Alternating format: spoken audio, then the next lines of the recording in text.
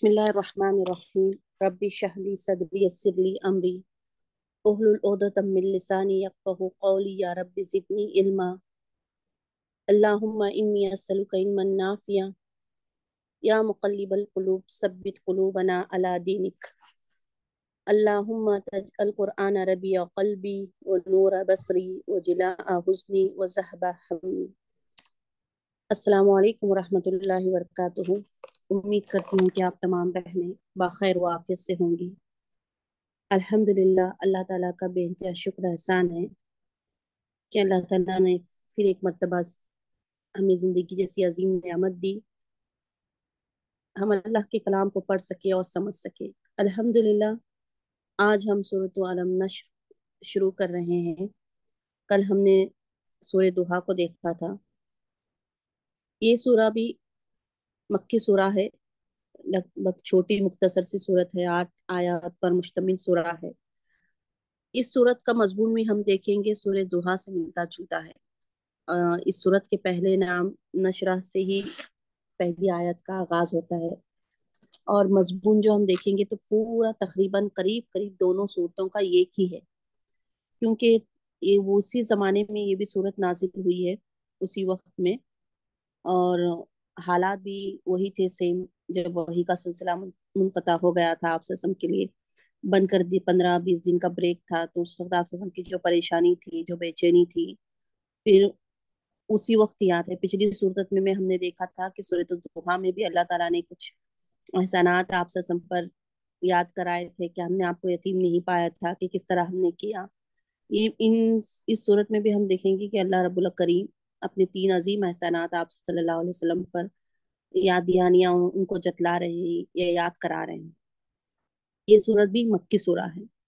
इसको भी त्री पार्ट पर ही मुस्तम, तकसीम किया गया है। पहला एक से चार आयत पर हम देखेंगे कि अल्लाह ताला जो है, शानदार माजी से शानदार मुस्तकबिल पर मतलब इंसान किस तरह से आप आएँगे, आपका मुस्तकबिल किस तरह से शानदार होगा फिर हम दूसरे पैराग्राफ में देखेंगे कि इब्तदा में अगर मुखालिफत हो रही है, आपको सताया जा रहा है, आपको परेशान किया जा रहा है, लेकिन आखिर होना क्या है? इनशाला कबूल आम होगा, यानी फतेह मक्का होगा और इस्लाम गालिब आ जाएगा। फिर तीसरे में हम देखते हैं कि अल्लाह से ताल्लुक इंसान का किस तरह से होना चाहिए। अगर इंसान ने दावत और तबलीग के काम में भी अपनी ज़िंदगी लगा दी है तो भी वो अल्लाह की तरफ़ रगबत किस तरह से करे, अल्लाह की तस्वीर किस तरह से बयान करे और ये चीज़ इंसान को कितना मज़ा देगी कितना लज्जत देगी अल्लाह की रगबत में यानी अल्लाह की याद में अल्लाह के ज़िक्र में इंसान को कितना मज़ा आएगा। तो मुख्तसर सा तारुफ था। आ, अब हम आयात पर गौर करते हैं। बसमीम शुरू अल्लाह के नाम से जो बहुत मेहरबान अर्रहीम नहायत ही रहम करने वाला है। अ क्या अभी तक हमने हर्फ इस्तेफाम अल को देखा था? हल हमने देखा था क्वेश्चन मार्क के लिए, क्या के माने में आता है? ये भी है हर्फ इस्तेफाम अ क्या? यहाँ पर नबी करीम सल्लल्लाहु अलैहि वसल्लम से अल्लाह ताला मुखातिब हैं। इब्तदाई चार आयत में हम देखेंगे कि लोगों को अल्लाह की तरफ़ दावत देने के लिए आप सल्लल्लाहु अलैहि वसल्लम को जो तंगी पेश आ रही है, जो मुश्किल पेश आ रही हैं, उस दावत में हम देखेंगे कि जो कुफार जो मुशरकिन जो हैं, दुश्मन जो हैं जो मकर खुफिया साजिशें कर रहे हैं अफसर को मिठाने की, दीन हक को मिठाने की। तो जो घुटन महसूस हो रही थी, ज़ाहिर सी बात है आप ससम भी बशर थे, इंसान थे। तो किस तरह से उन वो को भी जज्बात रखते थे, महसूस हो रहा था, तकलीफ़ जो हो रही थी। आप जो महसूस कर रहे थे कि क्या बोझ मेरे पर है, मैं बर्दाश्त कर नहीं सक रहा या नाकाबिल बर्दाश्त है तो उस हालात में आपको मदद और तसली की ज़रूरत थी। तो यहाँ पर डायरेक्ट सुबहान अल्लाह अल्लाह ताला ने खुद आकर आपको तसल्ली दी आयात के ज़रिए, कुरान के जबरील अमीन के ज़रिए। और फिर फरमाया कि आप क्यों मुश्किल, मुश्किलात पर परेशान हो रहे हैं? क्या मैंने फला फला एहसान आपके पास नहीं किए थे? तो यहाँ पर वही ज़िक्र है, सबसे पहले अल्लाह ताला अपना एहसान, जो ज़िक्र कर रहे हैं, जो याद दिला रहे हैं। लम नहीं नशरह हमने खोल दिया, लका आपके लिए, ल के लिए का आप, आपके लिए सदरक आपका सीना। सदर कहते हैं सीने को, क आपका। क्या नहीं हमने खोल दिया आपके लिए आपका सीना? यहाँ सबसे पहला जो एहसान अल्लाह ताला ने ज़िक्र किया है, आप सल्लल्लाहु अलैहि वसल्लम के सीने मुबारक को खोलने का। वाजह है कि ये वाकया अल्लाह के रसूल के साथ दो मरतबा मतलब पेश आया है, मुफस्सिरीन का कहना है। एक मरतबा अल्लाह के रसूल वसल्लम जब छोटे थे, चार या पाँच साल की उम्र में तकरीबन, उस वक्त जिब्राइल अमीन आए और आपने आपका दिल चीरा आप सल्लल्लाहु अलैहि वसल्लम का और उससे शैतान का वो हिस्सा निकाल दिया जो हर इंसान के अंदर होता है, फिर इसको आवे जमजम से धोकर बंद कर दिया। जब बीबी हलीमा के पास थे आप सल्लल्लाहु अलैहि वसल्लम, हमें तारीख से पता चलता है आप सल्लल्लाहु अलैहि वसल्लम की सीरत से। और दूसरी मरतबा महराज के मौके पर कि आप सल्लल्लाहु अलैहि वसल्लम का जो सीना मुबारक चाक कर कर दिल निकाल दिए थे। और उसे भी आब जमजम से धोकर अपनी जगह ढक दिए थे। महराज का वाकया भी जो हमें पता है, जो कि बहुत ज़्यादा ईमान और हिकमत से भरपूर है। तो आप सब लोग ज़रूर महराज के वाकये का देखिएगा, जानिएगा कि क्या है, किस तरह से बताया गया है उसमें, क्या है, ये आप लोगों के लिए होमवर्क, असाइनमेंट के तौर पर होगा।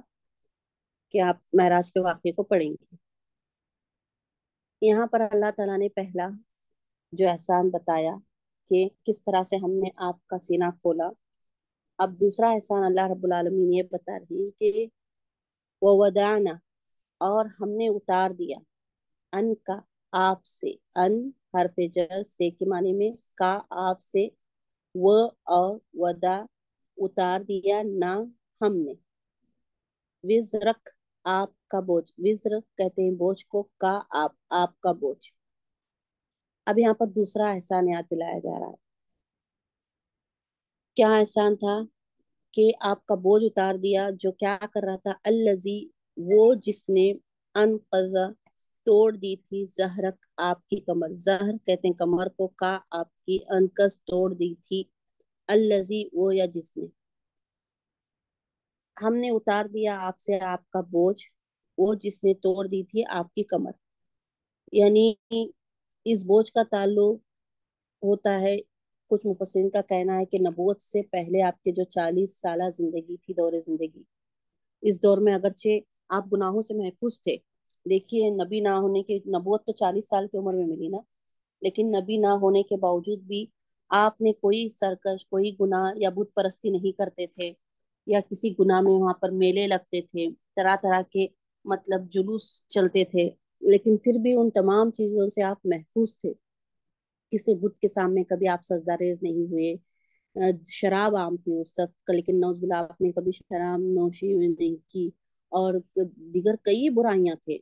उस वक्त भी रस्क मौसूफी उनके हिसाब से वहाँ पर मौजूद थी, उसमें कभी ये नहीं हुए, जबकि अल्लाह ताला की ताकत और इबादत का ना आपको इल्म था और ना आपको उस बात का हुक्म था।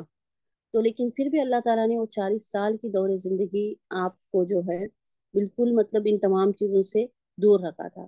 लेकिन अल्लाह के रसूल को लगता था कि उन चालीस सालों में मैंने अल्लाह की इबादत और बंदगी नहीं की, वो एक बोझ महसूस करते थे।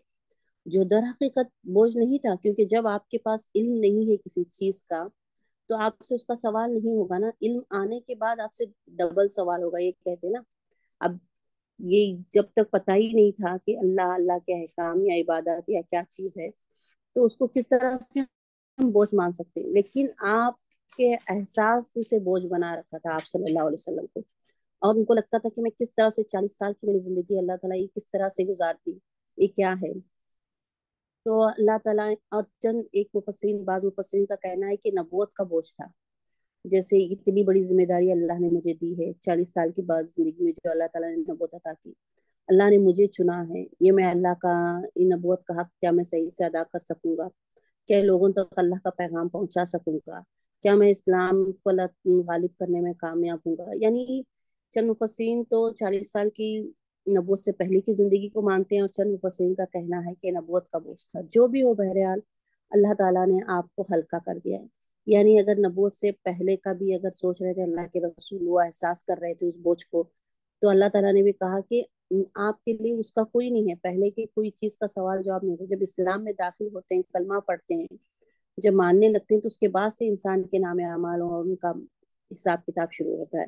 या फिर दूसरा, अगर नबूवत का बोझ आपको कमर तोड़ा था तो उसकी मुश्किल के लिए भी आसान कर दिया, हौसला दिया। दावर तो तकलीफ़ में आसानियाँ पैदा, जहाँ अबू लहब, अबू जहल जैसे थे आपको सताने के लिए, आपके खानदान से तो वही अल्लाह की तौफीक से अल्लाह ने हिदायत दी हज़रत उमर हज़रत हमजा अन्हु, जैसे अजीम सहाबिया सहाबी भी ईमान लाए, जो कि ताकतवर भी थे, जो खुरेश में एक बहुत बड़ा मुकाम भी रखते थे। तो ये अल्लाह ही की तरफ़ से एहसानात थे कि जहाँ आप परेशान हो रहे थे, जो चीज़ से जो चीज़ आपको कमर तोड़ दे रही थी, वहाँ अल्लाह ताला ने आपका आपका बोझ हल्का कर दिया। फिर तीसरा एहसान अल्लाह ताला ज़िक्र फरमा रही है रफाना और हमने बुलंद कर दिया, लका आपके लिए ज़िक्र आपका ज़िक्र। अब यह तीसरा एहसान, आपका ज़िक्र हमने बुलंद कर दिया यानी जो मुश्किल आपने बर्दाश्त की, जो तकलीफें आपने बर्दाश्त की, दीन की राह में। अब देखिए, अल्लाह ने आपको ऐसी अजीम नियामतें दी हैं जो आपसे बढ़कर तो दरकिनार आपके बराबर किसी बंदे को भी नहीं मिल गई। यानी आपका ज़िक्र, आपकी बुलंदी। हम देखते हैं जहाँ भी अल्लाह रब्बुल आलमीन का नाम आता है, वहीं आपका नाम आता है। मिसाल के तौर पर, ला मोहम्मद रसूलुल्लाह। नहीं कोई माबूद बरहक सिवाय अल्लाह के, और मोहम्मद सल्लल्लाहु अलैहि वसल्लम अल्लाह के रसूल ये कितनी अजीम और शान मतलब बुलंदी है। कैसी अजीम बुलंदी है, कितनी खूबसूरत बुलंदी है, ता कयामत तक। और हम ये देखते हैं नाम कितनी बार लिया जाता है? अजानों में पुकारा जाता है, नमाज़ में पुकारा जाता है। यानी हर चीज़ की इब्तदा जब इस्लाम में दाखिल हो रहा है तो जब इंसान कलमा पढ़ता है उसमें, यानी दिन में पाँच मरतबा अजान होती है। पाँच मरतबा हम देखते हैं, जहाँ अल्लाह ताला की बुलंदी, तोहीद, उसकी किबरियाई, उसकी बड़ाई का ऐलान होता है, वहीं बता दिया जाता है कि मोहम्मद सल्लल्लाहु अलैहि वसल्लम अल्लाह के बंदे और उसके रसूल हैं। यानी ये ज़िक्र जो बुलंद किया अल्लाह ताला ने आपके लिए कितना अजीम है। फरिश्तों ने, फरिश्तों में आपका खैर ज़िक्र किया खैर के साथ। आपकी इतात को अल्लाह ताला ने अपनी इतात करार कर दिया। कंपल्सरी कहा कि मेरी इतात के साथ रसूलुल्लाह की इतात ज़रूरी है। मेरी इतात के साथ रसूलुल्लाह की इतात का हुक्म दिया। ये समझदार इंसान के लिए काफ़ी है, जानने के लिए कि अल्लाह के रसूल की अहमियत क्या है। इतने अजीम है अल्लाह के रसूल। अजीम पैगंबर अजीम नबी अजीम रसूल जिन्होंने कुरान करीम जैसी अजीम किताब हम तक पहुँचाए और हम देखते हैं कि कोई भी शख्स नौजबिल्ला ये गुस्ताखी कर ही नहीं सकता कि नौजबिल्ला आप ससम को किसी और नाम नाम से बने भद्दे नाम से या नौजबिल्ला किसी तरह से पुकारने की कोशिश करे या बेहतरामी से नाम ले। हर एक समझदार इंसान आपका नाम एहतराम और ताज, ताजीम के बगैर नहीं ले सकता।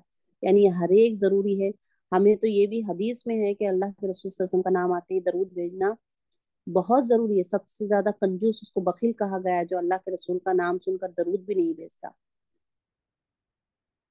अगरचे हम देखते हैं आज के दौर में कि अगर कोई मुसलमान नहीं है तो भी वो भी जानते हैं कि प्रॉफिट मोहम्मद हमारे इसमें एक बड़ा मुकाम रखते तो वो भी इज़्ज़त से नाम लेते हैं, वो भी लोग। तो ये ऐसा नहीं था कि अल्लाह ताला ने ता कयामत तक के लिए आपका ज़िक्र बुलंद कर दिया है।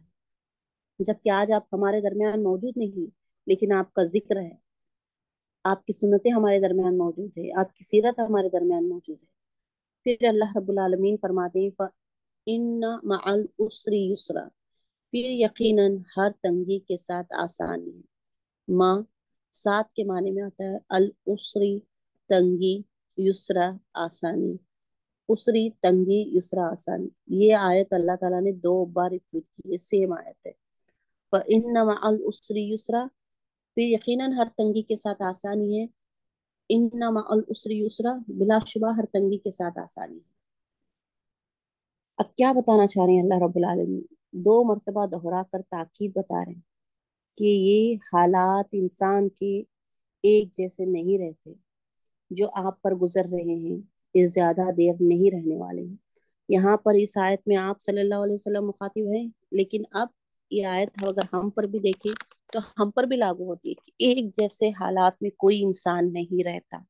किसी को अमीरी है तो हो सकता है कि बाद में उस अमीरी उससे छीन ली जाए, बाकी ना रहे। किसी की गरीबी है, हो सकता है उसके हालात बेहतर हो जाए, वो अमीर बन जाए। यानी कोई भी हाल इंसान के पास ज़्यादा देर रहने वाला नहीं बल्कि इनके बाद जल्द ही एक हालत से दूसरी हालत की तरफ़ इंसान जाता है, हालात पलटते रहते हैं। यहाँ पर गोया कि दो बार कहकर अल्लाह के रसूल को तो खुशखबरी दी जा रही है। उस वक्त की तो कैफियत आपको पता थी ना कि कुफार खुरेश का जो सताना, जो चाले चलना, जो तकबीरें वो कर रहे थे तो यहाँ खुशखबरी दी जा रही है कि जो इस्लाम की राह में तकालीफ बर्दाश्त कर रहे हैं, वो ज़्यादा घबराने की ज़रूरत नहीं है। इनशाला इनशाला ज़रूर अल्लाह ताला इन तकालीफ से हमें, आपको आज़ाद कर देगा, आपको आसानी अदा करेगा, आपको उनसे फरागत देगा, यानी उन तकलीफों से छुटकारा मिलेगा। और चुनाचा हम देखते हैं, ऐसा हुआ। तेईस साल की ज़िंदगी लगी। तेईस साल का वक्त लगा कलाम को उतरने में अल्लाह के। आप सत्संग को लोगों तक पहुँचाने में, लेकिन हक गालिब होकर रहा। फतेह मक्का का वाकया हम सबको उसके बारे में इल्म है। पूरी दुनिया जानती है, किसी से पोशीदा नहीं है। यानी वो हालात नहीं रहे।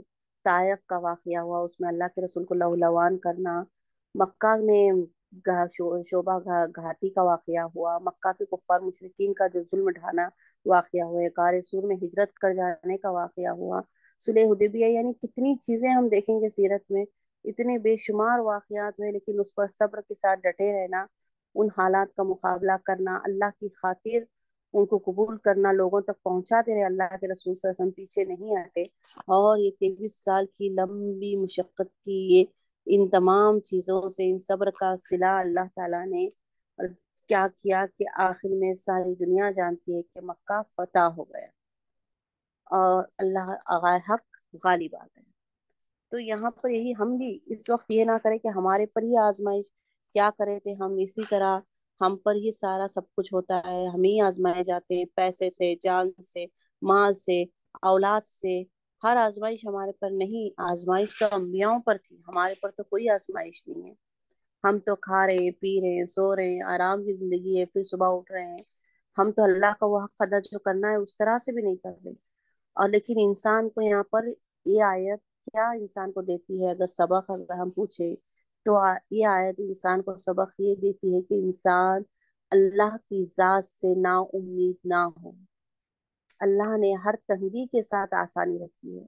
हम नहीं जानते कि हमारे हक में अगर कोई चीज़ नहीं हो रही तो हम फ़ौरन नाराज़ हो जाते हैं, गिले शिकवे करने लगते हैं, लेकिन अल्लाह बेहतर जानता है कि वो चीज़ हमारे हक में बेहतर थी या नहीं थी।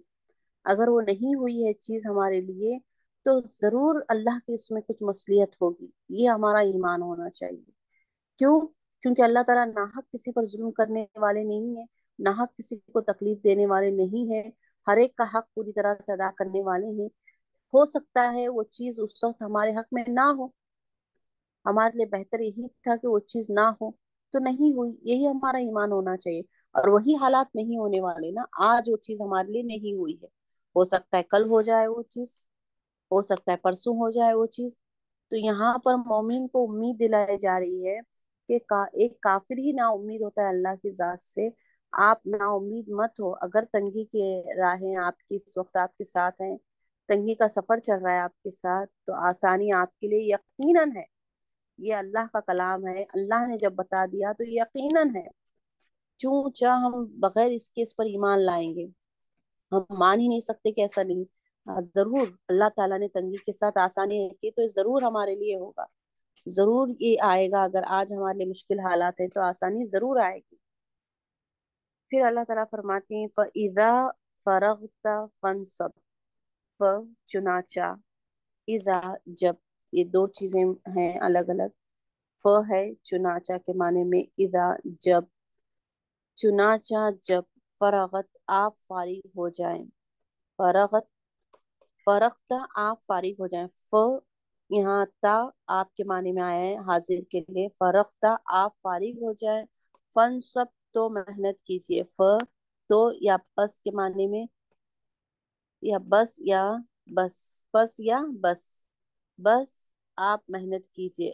फरग तो आप फारिग हो जाए।